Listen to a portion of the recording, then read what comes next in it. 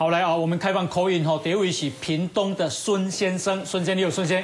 哎，你好，哎，孙先生，郑郑宏宇大哥好，哎，你好，你好，嘿，这高维邦先生啊，吼，伊的文章啊，吼，是。啊，捌几啊届伫自由时报吼，顶哦我有看过几啊届啊，嘿嘿嘿，吼，但是我个人吼，介无认同伊的即个看法啦，嗯嗯嗯，嘿，因为我认讲哦，咱台湾啊，吼，的社会啊，吼，若是要继续进步啊，吼，一定是爱改变啦，嗯，咱较早。对农业社会进步，甲工业社会，这就是一种改变啦。啊，未来工业社会要进步去资讯业，也是要服务业，这嘛是一种提升啦。是是是。啊，咱若是讲一直咧咱即个较早即个制造业啦吼，势必吼，咱咱你咱着无法度吼去找到其他的机会啊。你想讲引进外劳这哦，这可能是若一寡特殊的诶。诶，方面啊，吼，咱会当去用即个方法，吼啊，甚至即个工资脱钩这嘛无要紧，但是若是讲台湾啊，吼，这外劳啊，吼，变成是咱的咱的经济的主力的时候，我感觉这对台湾来讲是一种介大介大的一种退步啊。嗯嗯嗯嗯，哦，这这这种方式吼，我我想吼。单进放眼全世界的先进国家哈，大概没有哪哪个先进的国家是用这种模式去去成功的啊。孙先，哎哎，这个民进党执政七年来，你感觉你的生活有变较好不？诶，我个人哦，我是我是从事房地产的啦。我我感觉讲哦，这第第这七年来啊吼。伫生活无好诶人吼，伊有一个，即即我我朋友内底吼，生活无好，我感觉拢有一个共通点来讲，伊伫进前迄波泡沫化诶时阵吼，因有负债。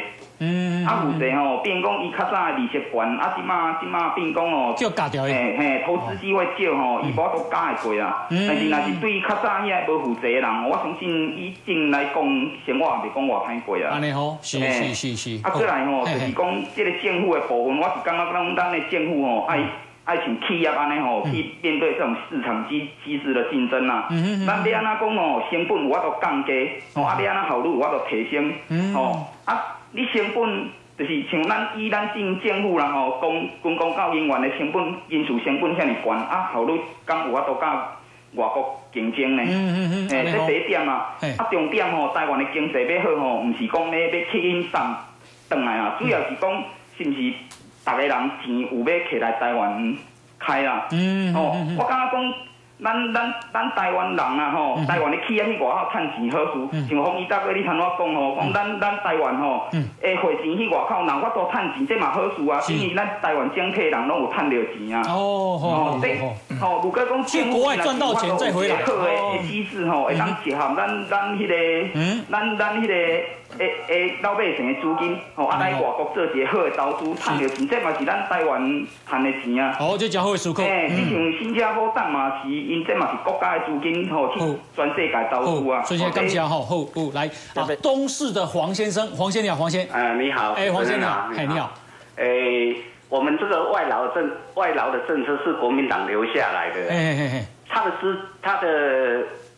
薪水是全世界占最高，我们台湾是占全世界最高的。嗯嗯嗯。所以说，民进党政府应该要把那个，就是脱钩。对对对对对。嗯。因为现在本国的劳工的薪水都超过那，呃，基本薪资了。嗯嗯嗯嗯所以说，你只有增加这个基本薪资的话，会增加劳方对那个外劳的支出更高而已。嗯嗯嗯。加重他们的成本。嗯。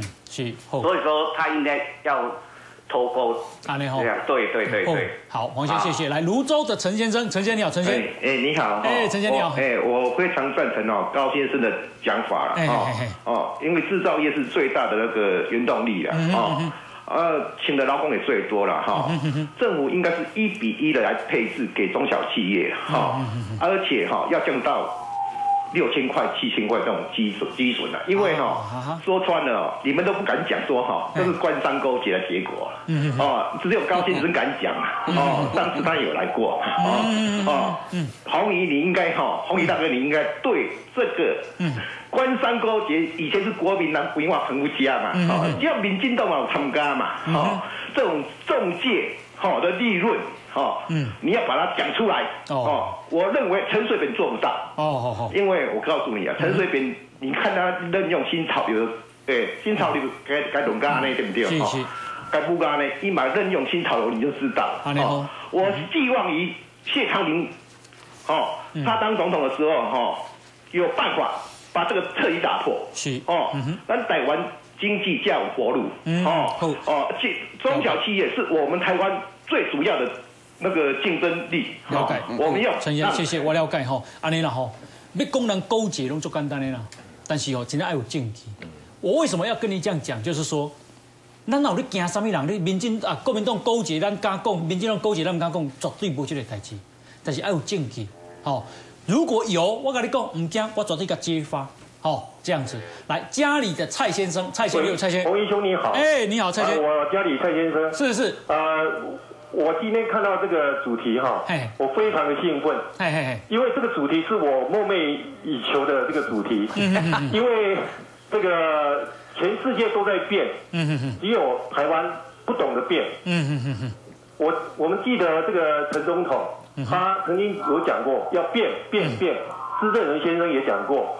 但是我们发觉这几年来，大家都因为在意识形态或是说政治的这种恶斗、蓝绿的恶斗，产生大家都忽略到经济的问题。那这个废除遗产税呢，它是对长久都是有益而。无害的，而且对是贫穷的人更是一个福音呐。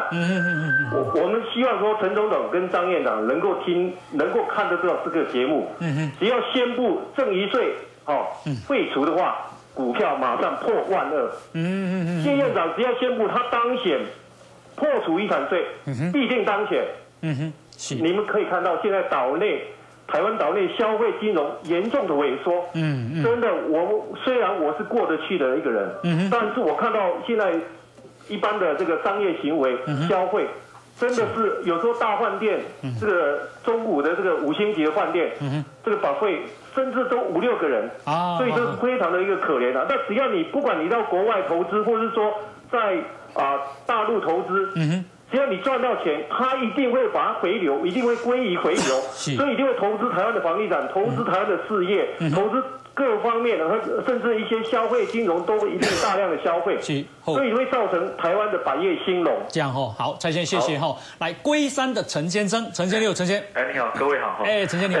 既然刚刚才那位那个那个来宾提到这个投资房地产事情哈，那我想讲一个现象哈，我最近有好多个那个亲友从中国大陆回来啊，他们告诉我他们都在开始在那边那个买地，然后是租地的对，然后去购物，然后做。